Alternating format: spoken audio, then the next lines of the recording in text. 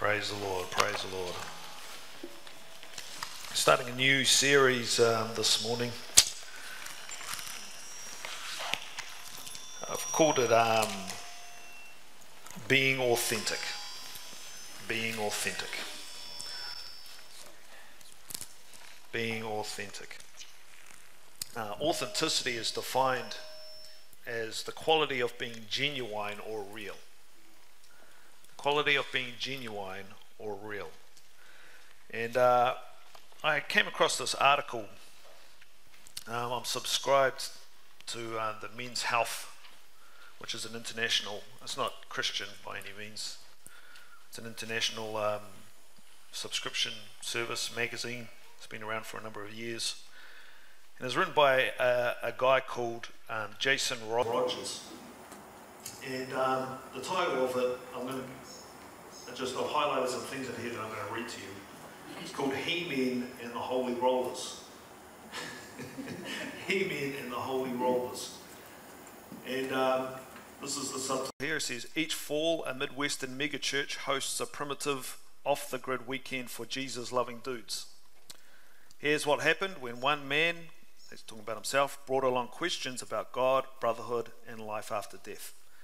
And so this is coming from a journalist He's a professional journalist. This is what he does for a living. He goes to a uh, a camp, a man's camp, and um, he had a number of questions. And what I thought was quite rich out of here is just to try and gauge how the world perceives church, what what the world thinks about the church, and um, this article was uh, revealed a lot of things. It revealed about the condition of Christianity today, especially in the Western Church. Uh, and it led me to ask a number of questions about pre- presenting the gospel to the lost with authenticity. And so uh, I just want to read to some, uh, read you some things here. This is He-Men and the Holy Rollers. So it starts off. I was told that he would come. We were a few hours into man camp, an evangelical men's retreat in the Ohio River Valley. And this promise was a part of the level setting that uh, Tyler, our bald capped and rosy cheeked group leader, thought he, we needed to hear. You shouldn't expect to shift all your perspectives in, in life in 48 hours, he said, with buoyant enthusiasm of a radio DJ. But you should definitely expect God to show up. And so I saw, uh, I saw nods among the dozen and a half other faces lit by campfire. Our group consisted mostly of first timers in their 20s and 30s from all over Ohio. Out in the darkness, there were nearly 2,700 other Jesus loving dudes and 279 groups who had come as far as Mexico, Canada, and Ghana to camp in a 431 acre property. So this was a big deal. This was a big deal. Um, and so there was these line of guys that all lined up to attend camp meeting. And so he continues, uh, uh, I'll just fast forward a little bit. It says, As a hearty flame crackled beneath the tar black sky, two men bonded over their wives' miscarriages. Uh, another told us wistfully that his, his long estranged father had rebuffed his attempts to reconnect. And um, he said, I revealed that I was going through the agonizing process of losing my dad to TOALS, and, uh, which is an incurable neurodegenerative condition that would soon rob him of his ability to speak and swallow. It was uncertainty of his slow erasure that weighed heavily most on me and my mum. We'd lose a fraction of, fraction of him every day until some uh, future unknown day that would lose him, would lose all of him altogether. Now, the eldest member of my group, a 71 year old organic farmer named Herman, handed me his cross. And I have felt in my heart that I needed to give that to you for this weekend, he said. I sensed that he wanted me to put it on, but instead I discreetly slipped it into my pocket. Officially, I'd come to write about Man Camp as one of the latest examples in a tradition of evangelical men's retreats that combine macho activities with a sincere pursuit of God. Man Camp, which promises to destroy your spiritual comfort zone, is a legal vices welcome weekend. When I first encountered Tome, Tome is the camp director, the day before, uh, during setup, he greeted me with an easy gaze and a cause and a cigarette combo in his hand. So he was holding a can of beer and a, um, a cigarette and a cigar in his in his hand as he met the uh, camp director. In addition to an intense fireside chat, and the schedule featured a, ma- uh, a manual labour activity, an arm wrestling competition, and an obstacle course, there are spiritual talks and a prayer tent situated next to 50 kegs of free beer. Sounds like a party. The weekend culminated with baptisms in an uninviting cow pond. Now, my parents were lapsed Catholics, so I had adopted an agnostic lifestyle. But my dad's 2022 ALS uh, diagnosis uh, had kicked up all kinds of existential questions about life, death, and his place in the much contested beyond. I'd also crossed into my 40s with a profound sense of being stuck. With no kids, I'd been trying to achieve my way out of feeling empty. Never a great strategy. Therapy was helping, but my gut told me I needed something bigger to overcome my soul deep malaise. That's not to say I was fully prepared to accept Jesus into my heart. Now, all of that was running through my mind on Friday night when I, a cross landed in my hands by the campfire. I wanted to arrive to a greater sense of peace with everything happened in my world.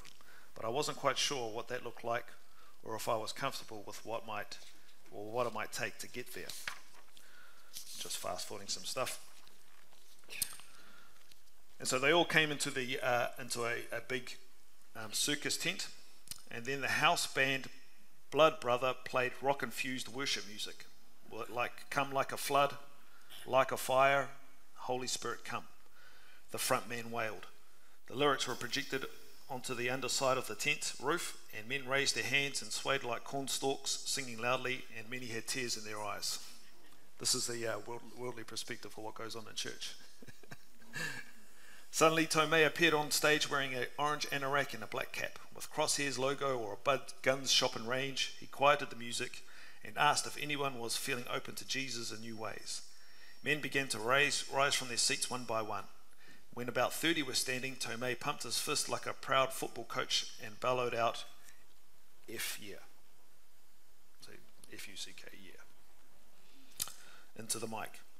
He quickly added it was his first time dropping the F bomb on stage in a godly context, but I didn't think so. The moment ended sweetly with the seated men standing, laying their hands on the shoulders of the attesters, forming little huddles.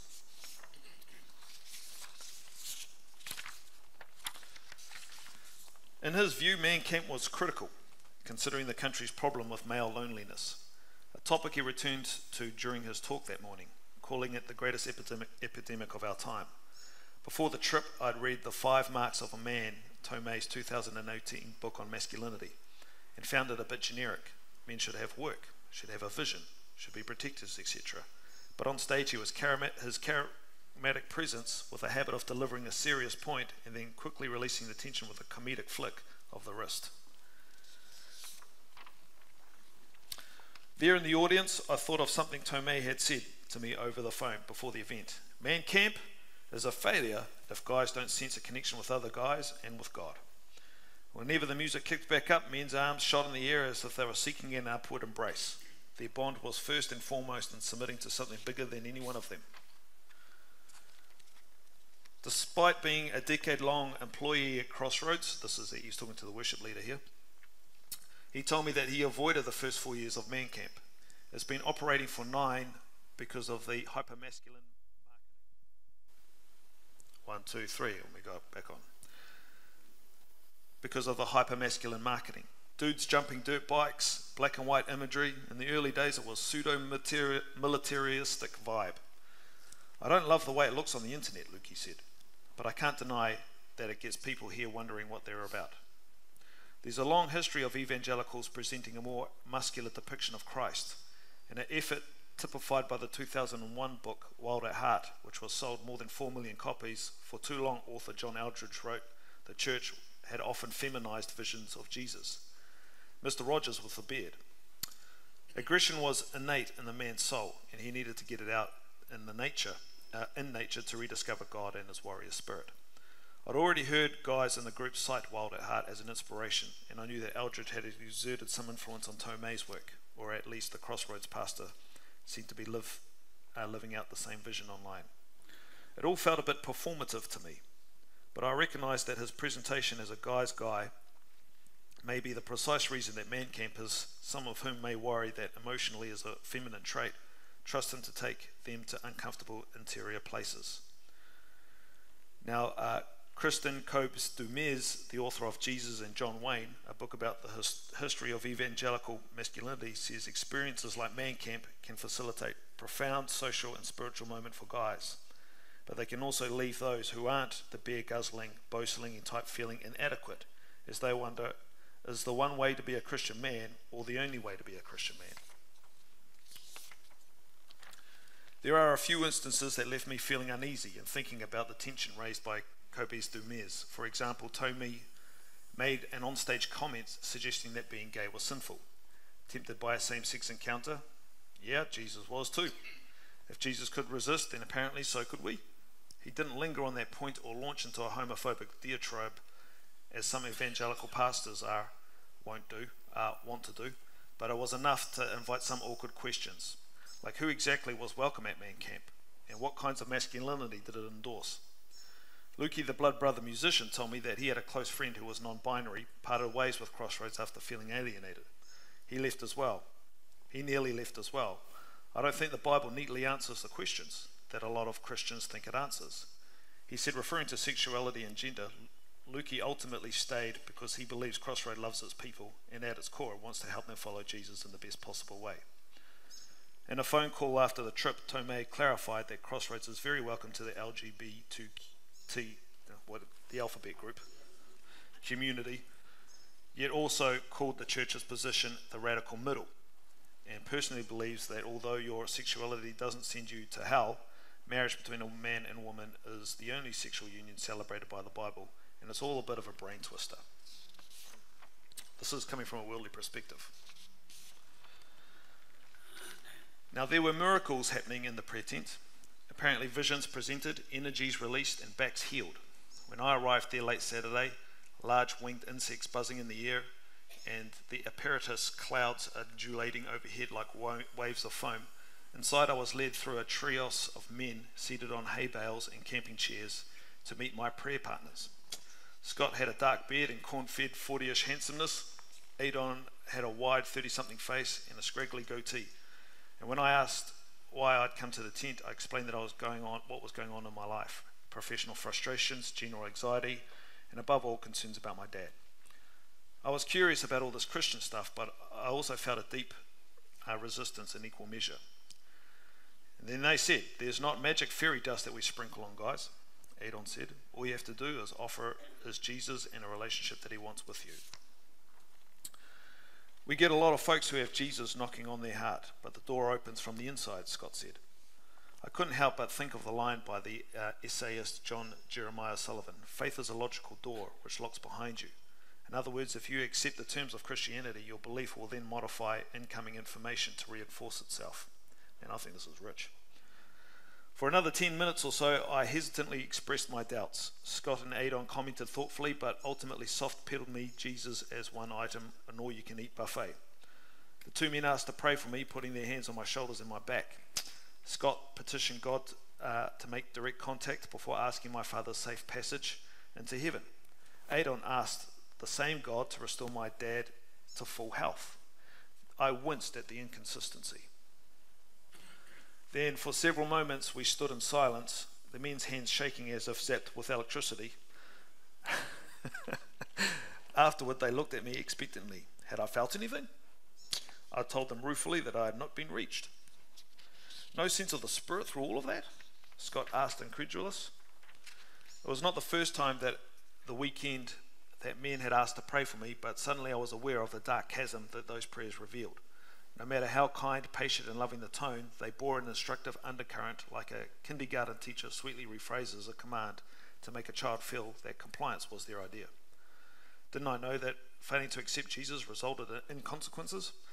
Didn't I want to be saved? I told my group about my struggle in the prayer tent. While not spiritually significant, it had been emotionally helpful, I said, but I just couldn't swallow the pill. I fully respect you trying to figure something out in your own timeline, uh, timeline Tyler said.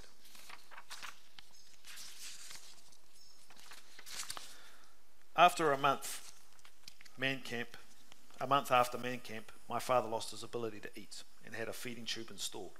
A couple of weeks later, he could no longer understand him and began communicating exclusively through writing or a text to speech app. One night I visited him at home and told him about the trouble I was having finishing this article. A central thread was eluding me. Worse, I questioned my original intentions. I'd convinced myself I was open to the Christian experience, but I was doomed from the start. The world I came from, progressive politics, feminist wife, skeptical dad, was too a vast a moat to cross. I asked why I'd given up Catholicism. Ah, sorry, I asked why he'd given up Catholicism, thinking we could find solidarity in a mutual doubt. There's too much punishment in purgatory, he wrote on his little handheld tablet. Then he shared that despite leaving his parents' faith, he had one way conversations each night with a Christianesque God. And he'd been doing that for a long time. I nearly fell off my chair. His float up off the Goonie experience had stirred something deep in him, but he never spoke of that, preferring his own personal rituals. I couldn't think back on the rock concert or the rah rah faith I'd witnessed at man camp without feeling at least a little spiritually checked out. But perhaps this was the belief I could get behind, the kind steeped in private stillness, far from the fervour of a crowd. That's how it ends. But uh, I thought he articulated very well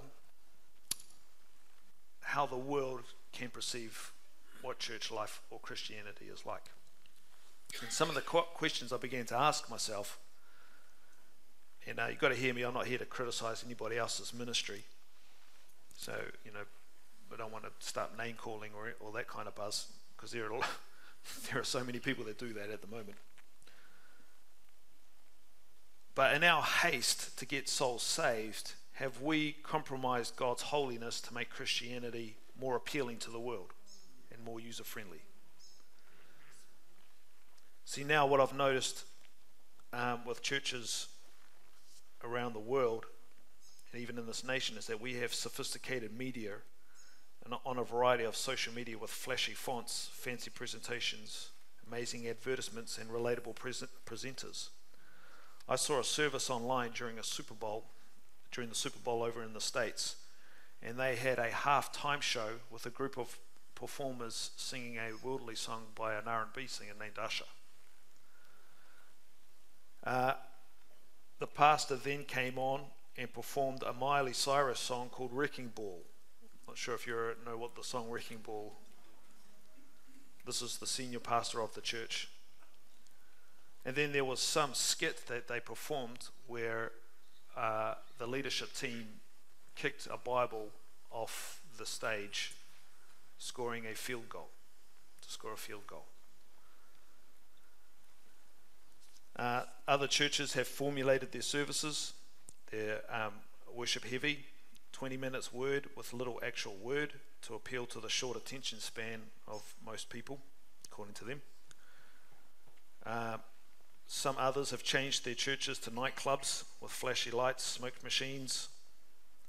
They have online, they have young, good looking people hosting like a late night talkback show. And uh, when, we, when we think about this man camp that we just read, there was 80 kegs of free beer, and the camp director with a beer and a cigarette in, in hand. They, there's this molding to the world to try and make it look like we just like you guys. Other churches don't make it about the blood of Jesus. Don't you dare mention praying in tongues. Don't allow the gifts of the Holy Spirit to flow because it may offend or it might make some people not want to be saved, quote unquote. And so there's a lot of a series of questions that I, I, I thought about. What does it mean to authentically share the gospel with the lost? authentically, with authenticity. Now, even if you do present the gospel with 100% authenticity, you will still, still people will say no. That's all there is to it. You're not going to be, uh, uh, you're not going to have a 100% success rate. So people will still say no. And um, whether people receive Jesus or whether they do not receive Jesus, that is not the measure of your success of preaching the gospel into the, into the world. The commission was go out into all the world and preach the gospel. It wasn't to go out in all the world and get people saved, because then there is this line that we, we can sometimes keep failing at. But if you go out into all the world and preach the gospel, then you're successfully executing what Jesus asked us to do before he ascended into heaven. I remember listening to Pastor Jeff Vines. He used to be a, a minister here in North Shore, but he's moved back to the States. And he says, You know what? It doesn't matter how many times we pray for our family members who are lost, how many times we, we you know, our, our pillows are soaked with our tears and we intercede for our family time and time again. And it, doesn't matter that, you know, even the, the gospel may be elaborated to them and, and maybe the laborers come in their way and they say all the right things and they, they, they bless them and they show them the ways to Christ and everything just becomes illuminated for them people are still to people can still say no because people are a morally free agent. They still have a choice. They still say yes, I'd love to receive Jesus, but no, or they say no, thanks, that's not for me. And so, uh, the question that I, I want to pose to us during the series is how do we present the gospel with authenticity? How do we do this with genuinity, or how do we do this being real? And um, there are people out there who are wanting not the world. There are people out there who are thinking to themselves, why would I change to your kingdom when it just looks like this one? And so um, we've got to be wary that if we, if, if people are attending churches that look like the world, then people, pastors, leaders who do this are being led by the world and not being led by God. They're following the trends. They're finding, they're following what is popular. And so, uh, please note though, this is not an excuse for us to have sloppy presentations. God is excellent, therefore, what we do should also be excellent. But we are not led by the world. We should be led by the source of excellence, which is God. We should be leaders of our field and setting the trends, not following them. Now it comes back to the question how do we reconcile the world? Because John 3 verses 16 says, What does it say? For God so loved the that he gave his, that whosoever shall, shall not, but have. Yes. How do we reconcile the world to God without losing or compromising God's holiness? How do we reconcile the world without losing the holy holiness of God or the holiness of God's kingdom? And I found a passage in the Bible that pretty much answers this. Isn't the word, isn't the word awesome? There's a very old saying that the Jews held fast to and it talks about now for the Jews, uh, Orthodox Jews who aren't messianic, who don't believe in Jesus, they read the Torah or the Tanakh, Torah and the Tanakh. So the Torah is the first five books of the Old Testament. The Tanakh is uh, the, the prophets, so the law and the prophets. And this is what they say about the Torah. They said the Torah has 70 faces. You turn it round and round, for everything is in it. And I find that true with the Bible You turn that Bible round and round, you look at it, you look at it, and you look at it again.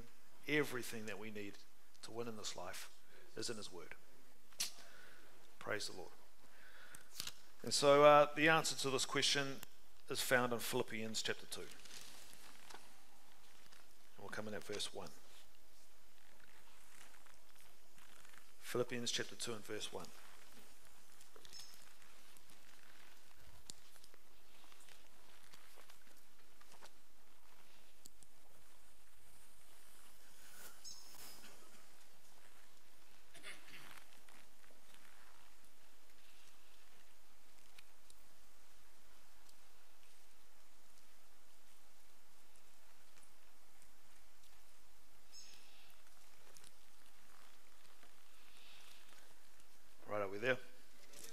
Philippians 2 and verse 1, it says, Therefore, if there is any consolation in Christ, if any comfort of love, if any fellowship of the Spirit, if any affection and mercy, fulfill my joy by being like minded and having the same love, being of one accord, of one mind. Let nothing be done through selfish ambition or conceit, but lowliness of mind to let each esteem others better than himself. Let each of you look out for not only his own interests, but also for the interests of others. So we're just going to break down this passage because we're going to read all the way through um, to verse 16. But I just want to take these two four, first uh, four verses that we just looked at. And one thing I want to highlight here is that the Paul highlights the importance of gathering together. So this is talking about saints gathering together. If there is any consolation in Christ, if we've all been consoled by Christ, if you've received salvation through Jesus, if there is any comfort of love, if there's any fellowship of the Spirit, if any affection and mercy, then fulfill my joy by being like minded, having the same love, being of one accord and of one mind. Now, what's awesome about uh, being in the kingdom is that God is bringing us into the unity of the faith and unity of the knowledge of the Son of God. We are becoming of the same mind. Now, one thing that he, this, this journalist here, winced at was the inconsistency in prayers for his dad. One person pray, uh, prayed that he would have a safe passage to heaven, that somehow or other that he'll receive Jesus as his Lord and Savior. That's a good prayer. The other guy prayed for that he'd be fully restored and, and healthy and whole and live out the rest of his life here on the earth. Two different consistency, uh, two different prayers, and he winced at the inconsistency. But God is working on bringing us into one and the same mind, the same soul, same heart. We are all coming to think the same way about God. We're all coming to think the same way about Jesus. And we're all coming to think the same way about the will of God. Even the will of God here for our lives about sickness and health may vary. I'm here to tell you that God doesn't want you to be sick. That God has provided a way for you to be free from sickness and disease. You don't have to accept anything on your body. My Lord went to the cross with his back split open for you so that we can be free from sicknesses and diseases, even mental health issues. God prepared and spilt his blood for them all. And when we come into that kind of same agreement and same line, then our prayers and our voice should sound the same and be consistent. Praise the Lord. So God is working on us. Verse 4 Let each of you not only look out for his own interest, but also the interests of others. Amen. And so the church plays one of the most important parts of reconciling the world back to God. The ecclesia or the gathering of the saints are for the believers. They're for you guys. If you receive Jesus as your Lord and Savior, the church or the gathering of the people is for you. It is not, I'm finding more and more times evidence in the Bible that it's not meant to be a, an outreach center. It is not a place for people to come and get saved. Oh, I'm trailing on some people's toes right now. Now, this, uh, this will trample on me, even some of our generals in, in the faith have said that the only reason the church exists is to save souls. I, and, and I agree in a sense. But the church or the gathering of the saints on a Sunday, on, on the Sabbath, is for the saints, is the building of and is the edifying of the body of Christ. That is the one day we sanctify ourselves from the world, we come together. Don't get distracted by the bird this way. And uh, Sundays is for you to be built up and edified and move more into the things of God, to sanctify yourselves from the world. Monday, Tuesday, Wednesday, Thursday, Friday, Saturday is for the world. That's. That's you going out there into the world to do the work of the kingdom. Whew. And so the ecclesia, the gathering of the saints, are for the believers. They build, edify. We build each other, we edify each other. There is a unity of the faith. We come into one accord. We praise together, we worship together. Whether you are a brand new believer or you walked with God for 50 plus years, church is for you. God is building his glorious church. He's going to present her to himself a glorious church, not a glorious someone who attends church online separately. We need to gather together. Praise the Lord. And so we are here to sanctify ourselves from the world every week. We set ourselves to be holy within the presence of a holy God. First Peter says, uh, Be holy, for I am holy. Be holy, for I am holy. And God still prizes his holiness. And what holiness does is that it invokes fear, a good, godly, holy fear. Praise the Lord. Now, church is also a place of prayer, it's a place for honoring the word, it's a place for honoring his presence. And when people leave church here on a Sunday to head home, there should be an edification of that person, a building up of that person, a movement of that person to be more like Christ. We are here, the church is here to inspire, to provoke, to rebuke, to teach, to correct through the word. Praise the Lord. So, 1 verses 1 to 4 talks about the church. Now let's move on to verse 5. Let this mind be in you, which is also in Christ Jesus. We're in Philippians 2 still. Let this mind be in you, which is also in Christ Jesus, who being in the form of God did not consider it robbery to be equal with God, but he made himself of no reputation, taking the form of a bondservant and coming in the likeness of men, and being found in the appearance as a man. He humbled himself and became obedient to the point of death, even the death of the cross. Now, what we see here is Jesus steps down from glory. Jesus was God. He is God. But Jesus was in a different form. Then he steps down from his glory and became like one of us. It says that he lessened himself like and became a humble servant. He humbled himself. And so Jesus stepped down from glory, coming in the likeness of man. He forfeited his godliness, glory, and the Word became flesh. And so not only did he come in our likeness, but he died in the likeness of the worst of us. Jesus, what I want to get from this here is that Jesus came to us. Jesus came to us. He didn't change heaven to make it look more appealing to the world and bring the world to heaven. But Jesus came to us. 2 Corinthians 5 verses 19, just write this down, I'll read it to you. It says, That is, that God was in Christ, reconciling the world to himself, not imputing any trespasses to them. I remember what that young student from Carmel, Maui, said. He said, Christians are a bit judgy. But it says here that Jesus didn't impute trespasses to the world, so neither should we.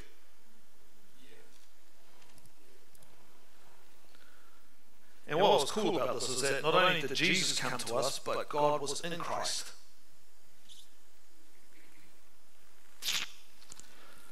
God was in Christ to be with us. Jesus, and also the thing about Jesus is that Jesus loved hanging out with sinners.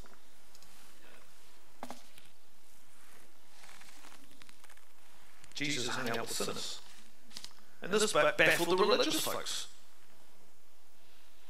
See, when he came, uh, he, he walked past uh, a tax collector's box and he saw him sitting over there collecting taxes and he says, Matthew or Levi, I want you to follow me. His disciples were with him. Sorry, what? do, you, do you not know what he does for a living? He's a tax collector. Not only was he, uh, did he call him to follow him, he went to his house. And this is what it says in the word that many tax collectors and sinners sat together with Jesus and his disciples. He was having a party at Matthew's house. He was sitting there with them. And some of the scribes and the Pharisees came to check it out. And they said amongst themselves, How is it that he sits and eats and drinks with tax collectors and sinners? See, tax collectors, they were their own brand of sin. They, didn't, they weren't just classified as just sinners, but they were tax collectors and sinners. Tax collectors were looked at as traitors. You're a traitor to your people. Their family would disown them. I no longer call you my son.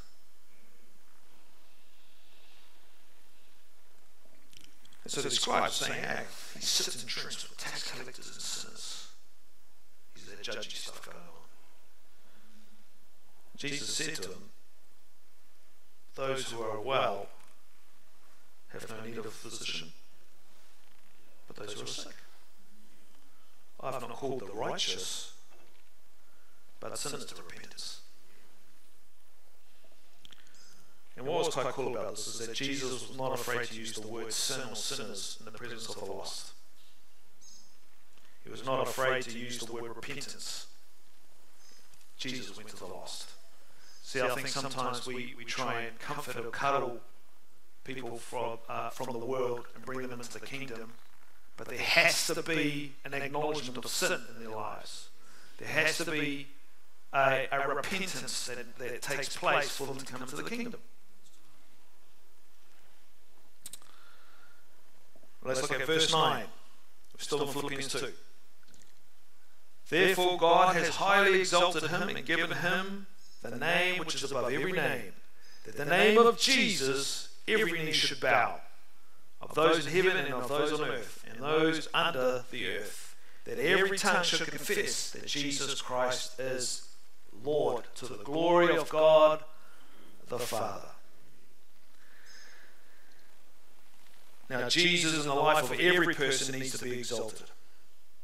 Through confession of his lordship in one's life, then you'll be saved. If you confess with your mouth that Jesus is Lord, if you truly believe that and you confess the truth, then you're saved. But Jesus is Lord now. You've come into his kingdom now. He is Lord of your life, which means that he has the say.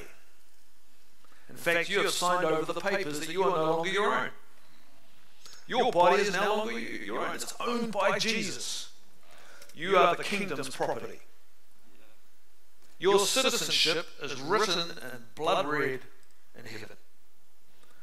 Your name is written in the Lamb's Book of Life. You are no longer your own. That's what it means to be under His Lordship. I wonder if they say that when they, when they you know, get people saved and they go off to their little room they talk to them about their salvation. This is what that means. I bet, guarantee a few of them be like, whoa, whoa, what?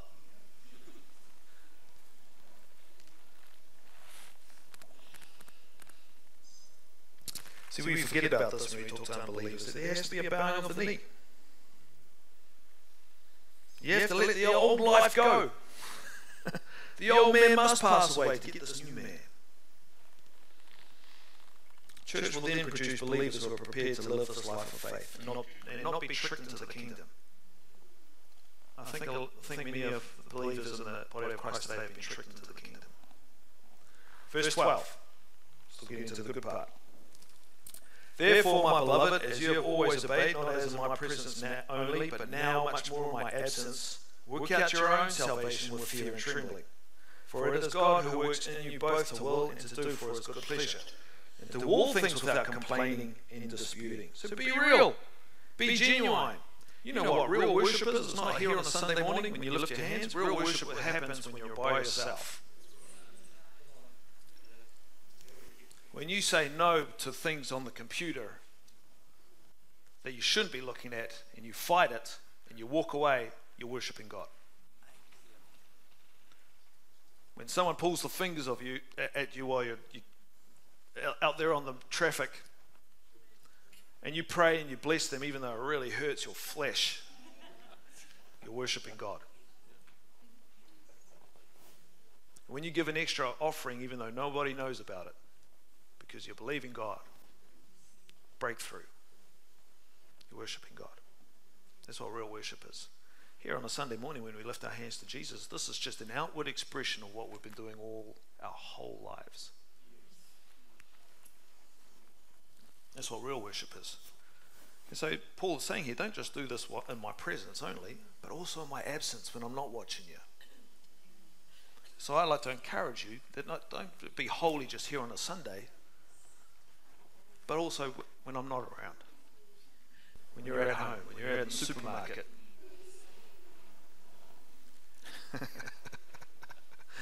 Praise the Lord. So, work out your own salvation with fear and trembling, for it is God who works in you both to will and to do for his good pleasure. And do all things without complaining and disputing, that you may become blameless and harmless children without fault in the midst of a crooked and perverse generation among whom you shine as lights in the world. Hold fast the word of life, so that I may rejoice in the day of Christ, that I may run in vain or labored in vain. So shine your light in the world. People need to see light. People need to see something that opposes darkness. People need to see joy in times of frustration, in times of anxiety, in times of worry.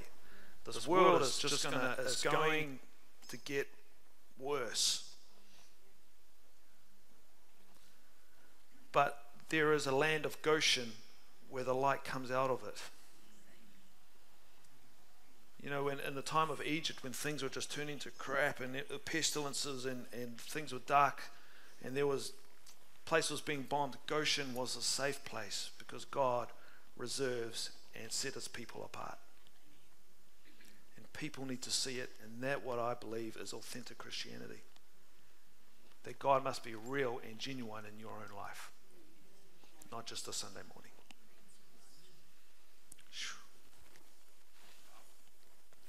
So shine your light out in the world. Praise the Lord. Bring them to church. But the real salvation happens out there. We've got to go to people. Sometimes I think we kind of look at Rhema Family Church and go, man, our evangelistic kind of side of things is uh, uh, a little bit low here, and you know we don't organize stuff. It's not for the church to organize stuff. I find now that the church is to build the saints for the reconciling of the world back to God, which means that you guys who aren't fivefold reconcile out there. And then bring them here to be built. You save them out there, you go to them, just like Jesus made himself of no reputation. I'm going to talk about this tonight, going to pubs. Make yourself of no reputation. Don't think you're too holy for some of these dark places with the intention of getting souls saved.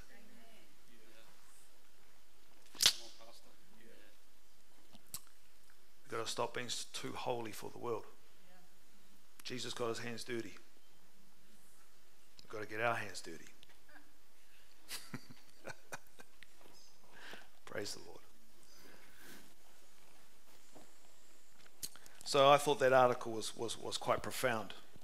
I read it, and, uh, and you know what? I think God, He drops stuff into my lap and says, I want you to check this out. And as I was going through, I was going, gee, this is how the world kind of perceives Christianity. And the more I look around and the more I actually take notice of what's happening in the body of Christ, I come to see that this rings true. Too many inconsistencies, too many performative stuff, too much unauthentic believers because we're not genuine and we're not real with God. But that people need to see real, genuine Christianity. People need to see authenticity in your life.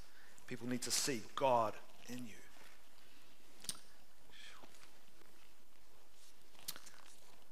That's all I have for you this morning. 22 minutes early, but that's okay. That's enough for this morning. Let's pray. Father, we just thank you for your word. We thank you for your Holy Spirit.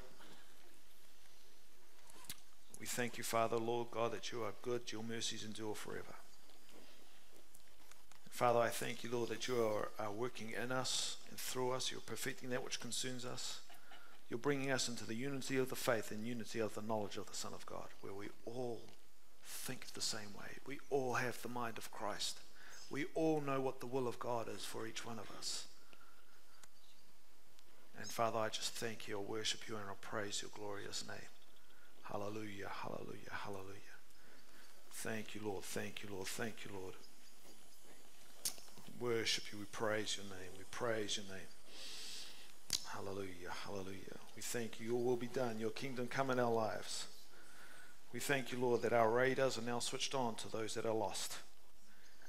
Father God, we just show us the way, Lord. Show us where we go. In Jesus' name. And Father, I thank you for real connections here, Lord, this week. I thank you for genuine, real encounters with God in our, in our private times. Thank you, Lord. I thank you that your presence shows up in our bedrooms, shows up in our cars, Lord God. I thank you, Lord, that you are good and that your goodness goes out before us, it overtakes us. I thank you, you reveal yourself in our families, in our homes. And Father God, I just thank you, Lord, for more of you, more of your power. In Jesus' name. Jesus' name. Jesus' name. Amen, amen, amen. Praise the Lord. Praise the Lord. God bless you.